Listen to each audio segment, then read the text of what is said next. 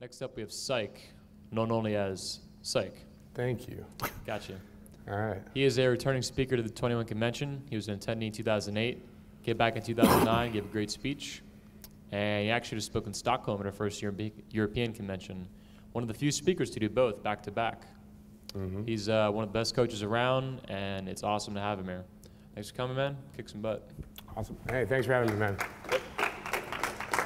Man, yeah, I mean, it's been a wild ride. I got to do the uh, Stockholm 21 convention where I talked about my VI system and, you know, what I teach for guys to get good. This speech, though, is be a little bit different. This is how to get good.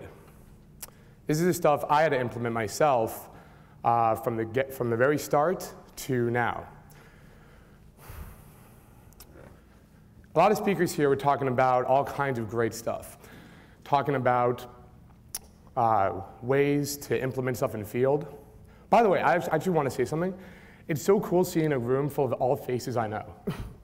That's one cool thing about this convention. That I don't think there's anyone here I haven't actually personally uh, worked with and talked to, you know? But um, I want to give you guys something on how to get good. Because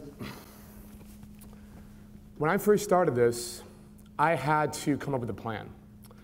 I had to come up with a system that would allow myself to implement all the stuff that's out there, because there's a lot.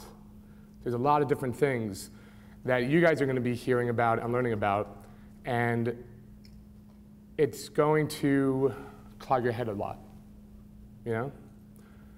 And you have to have a, a progression, a steady type of progression. So I want to show you guys what that looks like. Now, to do that, I want to show you guys where I came from. This was me, yeah. this was me uh, four years, thank you, thank you. This was me four years ago. I don't know how bad you guys think you are, but if you weren't playing Magic Gathering every single weekend by yourself in your mom's basement, you weren't as dorky as me. If you cannot have an intelligent debate on who would win in a battle, the Avengers or the X Men, you're not as dorky as me. If you do not know all the names of Han Solo and Leia Solo's kids, and Luke Skywalker's kids, Ben Skywalker, uh, you're not as dorky as I am. I was used, uh, you know, I still got a little bit of a Buddha belly on me, but I used to be 35 pounds heavier. I could not talk to anyone. I had two friends from high school. I mean, I, it was bad when I got into this. By no, I mean, some of you guys talk about coming into this as a natural. I was not a natural. I never done a cold approach. I don't think the, the concept was just foreign to me. The whole idea was just ridiculous. The only way I could talk to girls was if I met them basically online, right? so when I, and, I- and I talk about this in my previous speech I did last year, like a lot about you know my progression and whatnot. Uh, however, that did change. The fact that I'm here shows that this kind of thing changed. A lot of you guys have seen me in field. You've seen me do some stuff yourselves. You've seen me coaching you and, and you implementing some of this stuff uh, by yourself. I had to go out time and time again to make that happen. And afterwards, uh, some, some of this stuff has blown my mind. Being a dating coach for the MTV show Made, uh, getting the Best New PUA Award in 2008, or re- just recently, the Best Natural Game, which blew my mind again. Because, like I said, I was, noth- I was definitely not a natural, right? Which reinforces again that a natural is not something you're born with. A natural is just a guy that's progressively figured this stuff out. Any one of you can become a natural. There's, there's not any crazy thing to it. It's just going out there and getting this stuff. Um, more importantly, uh, some other stuff, I used to uh, formerly work with AFC Adam Lyons and PUA training. Those are my roots. And now I'm with uh, Psych of Game. That's my own website. You can look me up there, right? But since, I mean, from this guy to this guy, it was a crazy journey. it was a crazy journey. I've had some of the best nights of my life, and I've had some of the worst nights in my life. Um, I've done, st- I- I'm not one to talk about sexual exploits, especially on camera, so I'm not gonna get into some of the crazy stuff I've done. Um, some of the amazing shit that even to this day I just think like really, like that just really happened. but I will, sh- I will share with you guys a bad moment in my life, a bad time of learning this. I remember one point, uh, about a year into my progression, I was gaming this girl, and I was doing everything right. Everything this community told me to do, I was doing it correctly. I had the social proof. I had guys giving me drinks. I befriended her friend. I got her way. She was all into me. Everything was like this was meant to happen. Logistics were perfect. She was coming back to my place. It was already set up. Everything was perfect. She was a nine. She, literally, she was a nine. She was a gorgeous girl, just my type, right? And I'm thinking, done deal. This is game. I was on cloud nine, right? I take this girl and I take her to an Irish pub. And in the Irish pub, there's, a, there's some uh, band on stage, and a lead singer of the band looks at the girl, and he's like, hmm. So he points to himself, he points to her, and he points down. She immediately turns to me and she goes, I think I know that guy. Uh-oh. so she runs off and she starts going to talk to him. I lose her. 10 minutes, I, I do not see where they are. I go outside to find this girl, and then I see her and him walking away arm in arm. Just 10 minutes. I was getting her for the last two hours, and very well, mind you. Right? I followed them because I wanted to see where this was going. And he led her into his car, and within five minutes, the car started rocking. I was crushed. I actually wrote up a whole post, and I sent it to every guru I could find, because keep in mind, I was still uh, learning in this phase. I wasn't an instructor just yet. I wrote it to every single guy I knew, and the title of it was, What's Wrong with Me That Can't Be Fixed? Because I did everything correctly. I remember at the end of that night, I just sat on a bench trying to figure out what, where I did wrong because I knew I did everything properly. I did everything according to the book. And when I realized that, I realized that that just has to tell me there's something wrong with just me. It's not, you know, if this works for other people, then something's just inherently wrong with me. And I just started crying. And it was the big, it was, at, at that moment, I have never felt more hopeless in my life.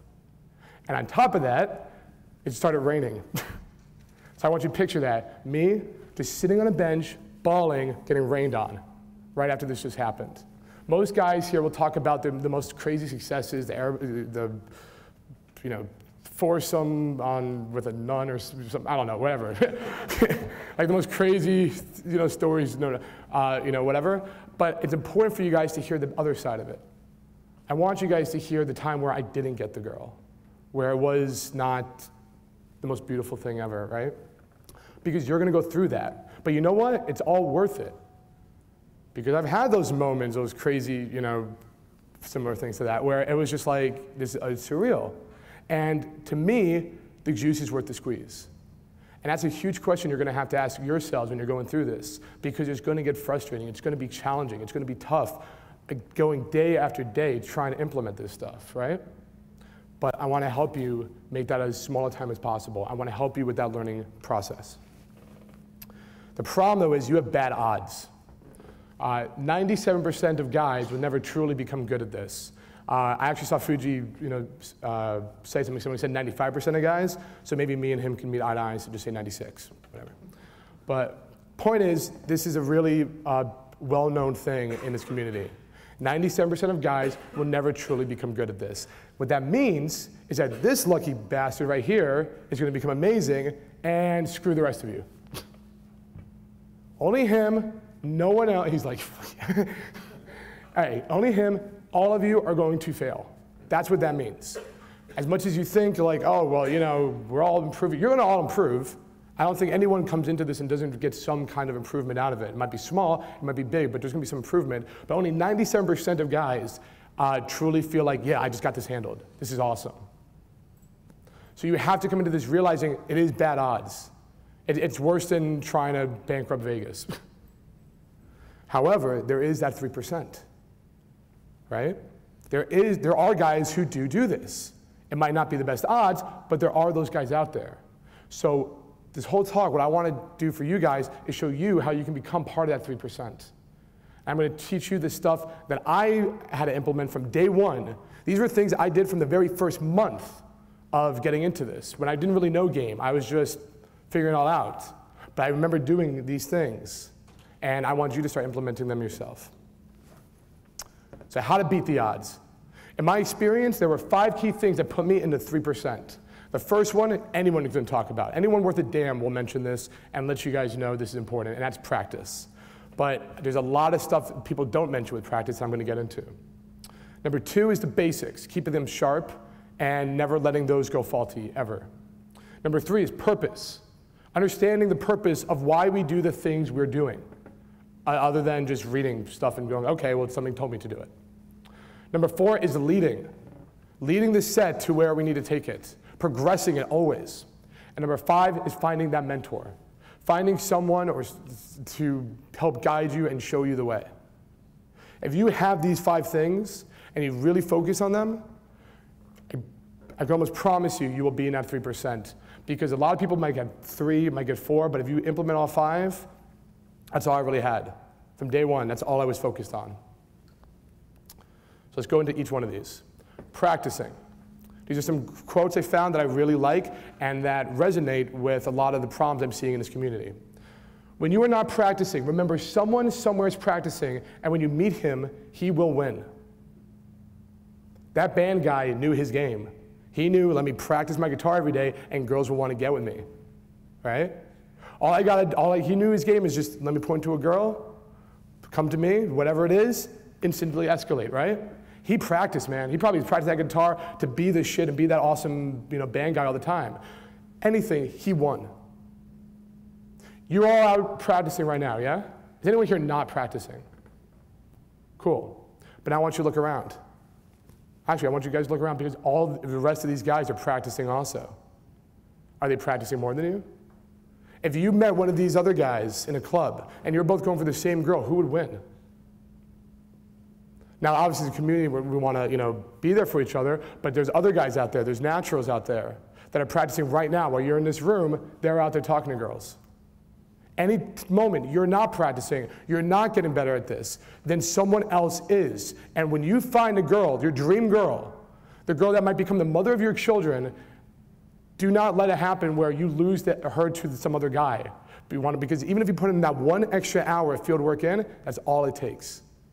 Because he'll know that one extra little thing that will get her to go to him and not you. If that's not enough motivation for you to be out there doing this stuff, I don't know what is. It's not necessarily the amount of time you spend at practice that counts, it's what you put into the practice. What that means is I, see, I will see these guys, they'll go into the field, right? And they'll just think, as long as I'm in a club, I'm practicing right now. I'm getting field time, I'm getting field experience. No, you're not. You're just in a club. Practice means being in a set, talking to a girl. That's what that means. In fact, I want every, I'm going to give you all a challenge right now. Um, I, I, I get I'm going to guess that a lot of you guys might think you practice a lot, right? And you probably say, maybe you'll say, I go out four hours a night. I practice four hours each night. Maybe that's a lot to you, maybe that's little to you, whatever it is, I don't know. Let's say you go out practice four hours each night. I'm going to give you a challenge. I want you to go out and I want you to get a stopwatch, all right? And every time you go into a set, click your little stopwatch. Every time you're done talking to the girl, click it again and you do not stop uh, that night until that clock watch at four hours. I guarantee you're going to realize, man, this is a lot more practice than I used to be doing. it's going to be a lot more. You want four hours of practice? That's what that means. You get your stopwatch and you spend four hours in set. Any in between time does not count. Hunting around is not practice. All right. Practice without improvement is meaningless. Another huge common mistake I keep seeing. A lot of, I know a lot of guys who are approach machines. They, they will run more sets than I, than I will. They'll, they'll be nonstop practicing, but there's no improvement. It's, they're just doing the same stuff over and over and over. And in the wise words of Albert Einstein, those who do the same thing over and over expecting different results, that's the definition of insanity. So when I practice, I'm always looking at what I did right, what I did wrong. What can I take away from this? What can I experiment and change next time? I remember one time, no, I, can't I'm saying this on camera. Um, I remember one time, just for the hell of it, I approached a girl like this. I had no idea why. I just wanted to experiment something. I, it came into my head. Me and my, my boy Elevate were just like, let's do that one time. Let's see what happens. It didn't work, but the point is, I now know that for a fact. I, I, experimented it. And the funny thing is, nine times out of 10, if you do something like that 10 times, nine times out of 10, it won't work. It'll be just ridiculous, and it'll be, of course. But that one time out of 10, That one time out of 10, you'll do something that you think this is never going to work. It's ridiculous. Like, how would this ever mean anything? And then it will, and you'll just, your mind will blow. I'm not doing it for those nine times out of 10. I'm doing it for the one time out of 10. I'm trying to find, I'm trying to, I'm always experimenting. I'm always playing around with stuff. If you keep doing the same thing over and over, if, you, if your opener is the same thing every single time, and you still feel like you have a problem opening, change it.